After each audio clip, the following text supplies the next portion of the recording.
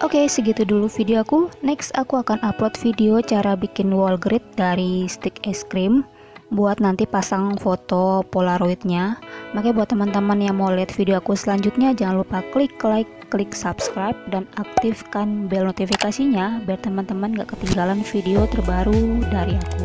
Thank you for watching. Bye bye.